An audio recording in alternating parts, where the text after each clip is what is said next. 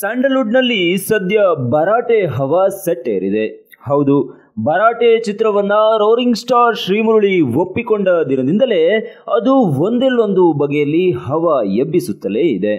ಮಫ್ತಿ ಸಿನಿಮಾದ ನಂತರ roaring star Srimurali ಒಪ್ಪಿಕೊಂಡಿರುವ ಭರಾಟೆ ಚಿತ್ರ ಸದ್ಯಕ್ಕೆ ಶೂಟಿಂಗ್ನಲ್ಲಿದೆ.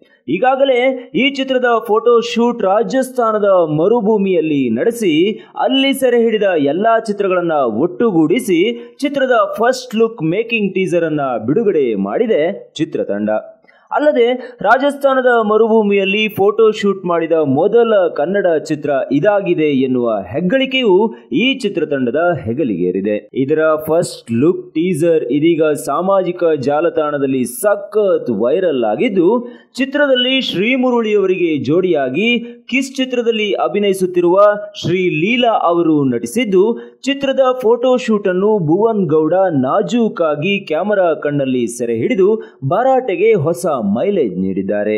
ಭರ್ಜರಿ ಚಿತ್ರದ ಯಶಸ್ಸಿನ ನಂತರ ನಿರ್ದೇಶಕ ಚೇತನ್ ಈ ಚಿತ್ರವನ್ನ ಕೈಗೆತ್ತಿಕೊಂಡಿದ್ದು, ಮುರುಳಿ ಮತ್ತು ಚೇತನ್ ಕಾಂಬಿನೇಷನ್ನಲ್ಲಿ ಭರಾಟೆ ಹೇಗೆ ಮೂಡಿ ಬರಬಹುದು ಎಂಬ ನಿರೀಕ್ಷೆ ಸಿನಿ ಪ್ರೇಕ್ಷಕರಲ್ಲಿದೆ. ಸುಪ್ರೀತ್ ನಿರ್ಮಾಣ ಮಾಡುತ್ತಿರುವ ಈ ಚಿತ್ರಕ್ಕೆ ಅರ್ಜುನ್ ಜನ್ಯ ಅವರ ಸಂಗೀತವಿದೆ.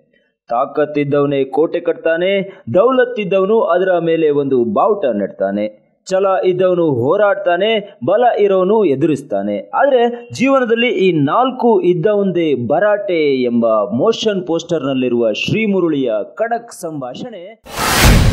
ತಾಕತ್ತಿದ್ದವನು ಕೋಟೆ ಕಟ್ತಾನೆ. ದೌಲತ್ತಿದ್ದವನು ಅದ್ರ ಮೇಲೆ ಒಂದು ಬಾವುಟ ನೆಡ್ತಾನೆ. ಛಲ ಇದ್ದವನು ಹೋರಾಡ್ತಾನೆ, ಬಲ ಇದ್ದವನು ಎದುರಿಸ್ತಾನೆ. ಆದರೆ ಜೀವನದಲ್ಲಿ ಈ ನಾಲ್ಕು ಇರೋ ಆಗಲೇ ಅನೇಕ ಅಭಿಮಾನಿಗಳು ಈ ಡೈಲಾಗ್ಗೆ ಶಿಳ್ಳೆ ಹೊಡೆದಿದ್ದಾರೆ. ಚಿತ್ರದ ಮೊದಲ ನೋಟವೇ ಇಷ್ಟು ಸದ್ದಾಗಿದ್ದು ಇನ್ನು ಚಿತ್ರ ಬಿಡುಗಡೆಯ ದಿನದಂದು ಯಾವ ರೀತಿ ಸದ್ದು ಮಾಡಬಹುದು ಎನ್ನುವ ನಿರೀಕ್ಷೆ ಗಾಂಧಿನಗರದ ಸುತ್ತ ಸುತ್ತುತ್ತಿದೆ.